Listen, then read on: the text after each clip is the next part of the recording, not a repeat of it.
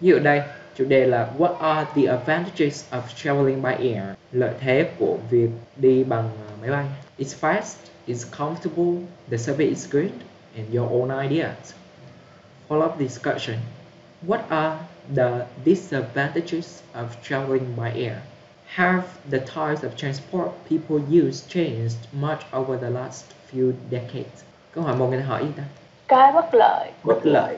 Đúng không máy bay ví dụ chủ đề trên thì người ta nói về lợi ích của nó rồi. Nhưng mà câu hỏi phụ thì họ hỏi về cái mặt bất lợi của việc đi du lịch à, của việc đi lại bằng máy bay. Câu số Là 2 đắt. là have the types of transport là loại hình?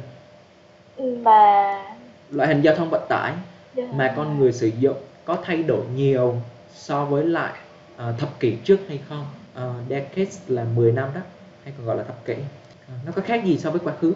Các bạn thấy ở đây cái câu chủ đề của mình là nó là một câu hỏi đúng không nào chứ nó không có phải là một cái câu statement một câu có dấu chấm vậy thì đối với những cái, dạng đề mà có câu hỏi như thế này thì các bạn sẽ nói lấy lại cái thông tin ở phía trong bỏ cái từ để hỏi nhé Vậy thì đây câu mở đầu của mình sẽ là Some people believe that uh, traveling by air has many advantages. Này sẽ chuyển thành đó là đi bằng máy bay có nhiều lợi ích. Các bạn chuyển lại. Sang thành cái câu như thế này. Và trả lời y hệt Firstly, it's fast. Secondly, it's comfortable. Uh, thirdly, the service is good. Ngoài ra bởi vì cái này là chủ đề về transport là chủ đề khá là thân thuộc nữa thì bạn có thể thêm ý tưởng của mình. Như except for chẳng hạn.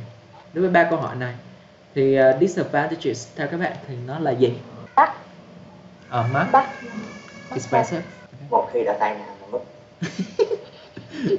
trời trời trời Rồi. diễn tạo tiếng Anh làm sao? Rồi bây giờ nha đối với cái expensive này mình biết là nó mắc rồi đó. Đúng không? Dạ. bây giờ để mình có thể nói nhiều hơn về cái mắc này á các bạn thêm giá tiền vào. Mình chọn một cái con số gì đó để mình dễ nói. Bây giờ là 2 million.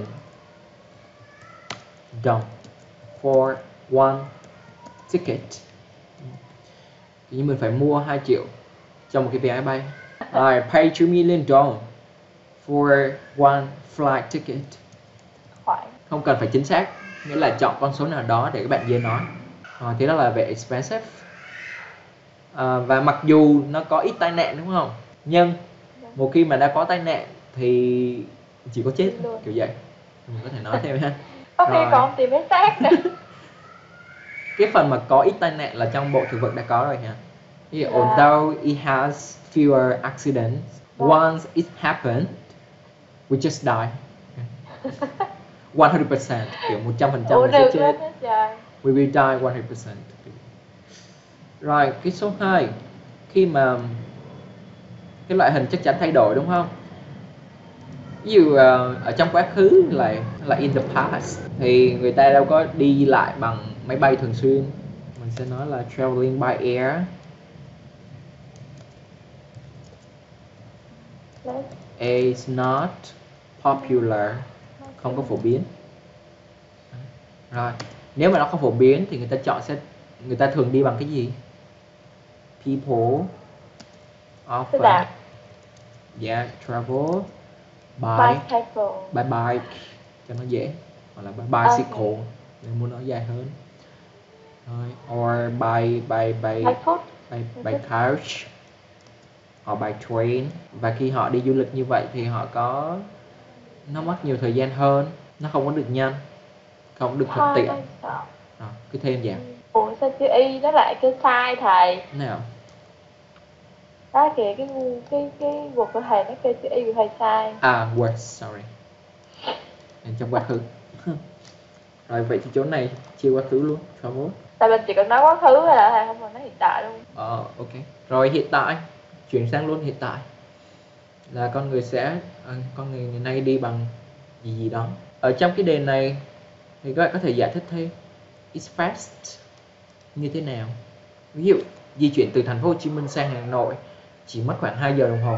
I comfortable mình có thể ăn nè, có thể nghỉ nè, có thể nghe nhạc xem phim vân vân trên máy bay. The service is good, dịch vụ rất là tốt. Nó chỉ chỉ mua vé và nghỉ rồi mọi thứ không cần phải lo gì hết. Rồi, được chưa nào? ok Bây giờ áp dụng nha. Quý Wait. Some people Venus traveling by air has many advantages.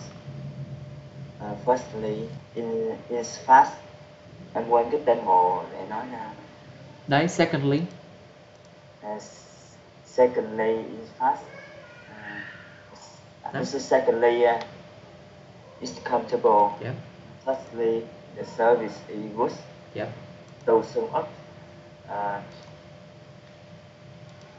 uh, the to sum up traveling by air uh, has many advantages. Uh, now I will answer follow question. Expen expense, yeah, expensive.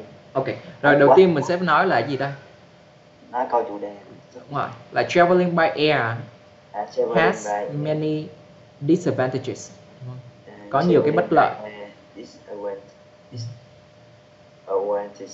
expenses by 2 million on for one flight ticket. Second, Ở cái câu số 2 thì mình sẽ nói lại cái câu hỏi, mình sẽ sẽ trả lời dựa trên cái câu hỏi trước là mình sẽ đổi như thế này. Đổi have, chuyển have sang ờ, trước cái động từ. Have changed, đúng không? yeah, The types of transport the people use. The, the type of transport people use have changed much over the last few decades. In the past, traveling by air were not popular. People often traveled by bus, cars, or, or trains. Rồi, ok. Và nó mất thời gian lâu hơn thì sao? Nó mất thời gian thì mình có cái cụm là a waste of time. Rồi, they were a waste of time. Nha. Xong. Ờ, cái quy rõ hơn về cách làm chứ. Rồi, tức là đối với cái, những cái câu hỏi follow up á thì đầu tiên là mình sẽ trả lời theo cái thông tin của người ta trước, sau đó là mở rộng. là mình nói lại câu câu Ừ, hỏi người ta ừ. xong mình trả lời. Đúng rồi. Nào Linh. Uh, some people believe that uh, there are benefits uh, when travel by air, uh, traveling by air. Firstly, it's fast. Secondly, it's comfortable. Thirdly, the service is good. To sum up, there are, there are benefits uh, when traveling by air. Now I will answer following up questions. Questions 1 that expenses are traveling by air um, expensive, and uh, we we will die if uh, have a accident. Mm. Yeah. Oh, um, uh, the ties of uh, change for people you change most uh, over the last few decades. Uh, uh, is that traveling by air were not popular. People often traveled by bike, cars, or trains. The, uh, these uh, were a waste of time. Yeah, in uh, now we uh, traveling, uh, we travel by uh, air popularly. Yeah. Rồi khi mà nó phổ biến như vậy thì nó giúp ích- giúp ích gì cho mình? Vì mình có thể đi À. lại giữa các nước, À. đúng không? Yeah. Đi du lịch nhiều hơn, Yeah. nhiều tốn tiền hơn. Like we can travel more often and travel to other countries easily because Okay. because like the flight tickets um, has been decreasing a lot. Nghĩa là giá giá vé hiện tại thì okay, nó đang giảm. Và nó có những chương trình khuyến mãi. Ví dụ các bạn săn vé không đồng đó thì cộng thêm thuế nó khoảng 800 ngàn 900 ngàn cho một vé bay đi qua Thái. Ha đó là part 3 của speaking. Easy. Áp dụng No, template. Not easy. nó ok. Nó chỉ là phần bổ sung. Cái phần giải thích để mình kiếm thêm điểm thôi. Thì cái phần này các bạn sẽ phải luyện tập nhiều dựa trên bộ từ vựng và những ý tưởng kinh nghiệm của bản thân để mình có thể trả lời nó hay hơn. Cái uh, on idea. rồi có một cái nữa đó là khi các bạn nói để tránh việc các bạn ờ, chia sai động từ thì cái cấu trúc mà các bạn nên sử dụng đó là ví dụ you can hay là I can nha. Thì sau cái cụm này động từ không cần chia gì hết cứ nói thôi. Ví okay. dụ là I can là you can. À, các bạn còn ờ, thắc mắc gì về phần speaking part 2 và 3 À, tôi tôi cho em hỏi cái phần uh, teaching battery á ừ. ý tưởng là ví dụ như là lợi thế nhưng mà câu hỏi là bất lợi thì mình nói tương tự như static Oh, ok. À, ở dưới nó hỏi bất lợi đúng không? Và quý hỏi có thể sử dụng template này không ạ? yeah. Được. được chứ Kiểu như firstly là lý do đầu tiên, secondly lý do thứ hai là gì, thirdly. Ở đây thì mình có hai lý do đúng không? Là expensive thì mình nói là firstly it's expensive. Rồi, lý do thứ hai là uh, secondly we will die when we have flight accident. 100%. Thì được đó. chứ càng tốt nó có từ nối nhiều khi Ừ. lại còn được kiểm tra Ừ. hơn không? Có thể sử dụng những cái từ nối như thế này để liên kết các ý. Nhớ nha, cái template này là mình đã thay chữ, đã có từ vựng rồi thì đảm bảo là phát âm đúng. Đừng đọc sai, đừng đọc thêm, Yeah. đừng đọc thiếu. Và ờ, nói làm sao để nó tự nhiên, nó có biểu cảm, cảm xúc trong đó nữa thì great. Chứ đừng có kiểu như là mình đang đọc, hiểu không? chuyển từ cái văn bản này sang phần nói sang phần trình bày